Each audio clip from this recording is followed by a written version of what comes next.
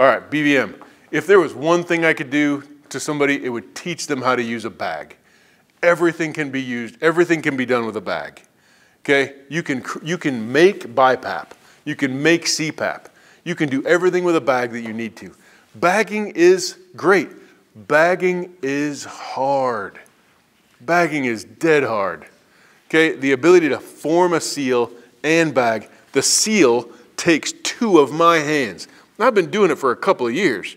It takes two hands as hard as I can get, and I can only do it for a, maybe a minute or two before my hands get too tired to actually hold that mask on, which means I've got to have somebody else squeeze the bag. It takes three hands to effectively bag. Now, if you have somebody in respiratory distress, and I've done this on countless occasions, you can actually bag them up if you bag with them.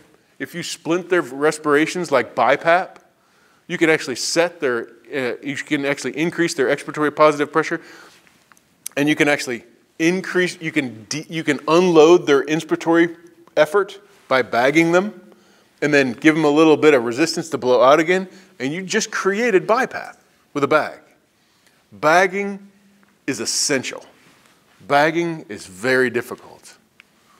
You can add adjuncts to bagging, but don't add an adjunct if you're getting away with it. All right, this is BiPAP. This is actually CPAP, okay? CPAP is, it's a constant pressure. CPAP is a constant pressure. CPAP sucks because it's all it's doing is increasing the pressure that I need to blow out. Okay? It will get you, it will buy you some things in some situations. Like CHF, it's pretty good because that increased intrathoracic pressure decreases preload and actually increases the efficiency of my left ventricle by decreasing preload by increasing my intrathoracic pressure. Checking? CPAP works that way. It can also kind of squeeze, increase your alveolar pressure. Theoretically, you could, and, and squeeze your capillary uh, veins and, and, and squeeze out some of that pleural effusion. Theoretically, I don't think that that's really the, a valid. It could be. I'm sure Terry Coulter tomorrow will be able to provide you a little bit more information about that. BiPAP is the cat's meow, man.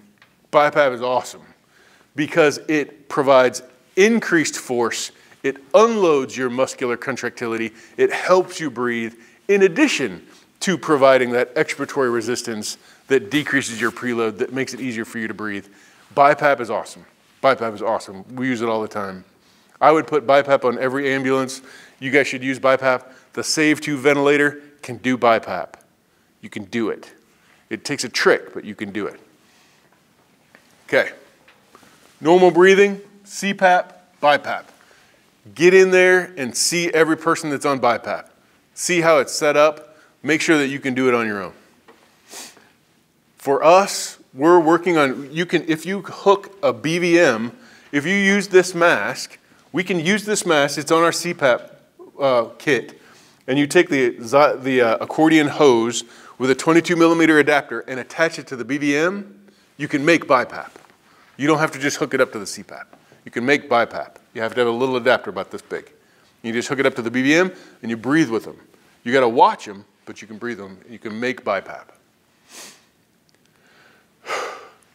Things you have to be able to do to do BiPAP. The person has to be awake. I had a, we used to have these full face masks for BiPAP, and I saw that I put this old guy on BiPAP one time, walked back in, I walked out, walked back into the room, and he's looking at me over the top of his puke. very bad. Very bad. Okay? It doesn't work if they're not able to follow commands. It doesn't work if they're in obvious respiratory distress. It doesn't work if they're breathing more than 25 breaths a minute. Okay? It doesn't work if their pulse ox is super crappy. Super crappy. If they need to just go on a vent, BiPAP has improved patients, but it has not reduced the number of people who get intubated. That's a very, very important finding. CPAP, I think, does improve patients clinically. However, it has not resulted in a reduction in the number of patients who get intubated. It's an important, important distinction.